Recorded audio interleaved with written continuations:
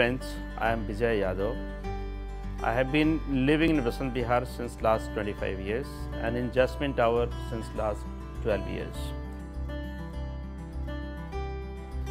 We started considering the painting work about three years back. We invited many companies for carrying out the painting work of the building.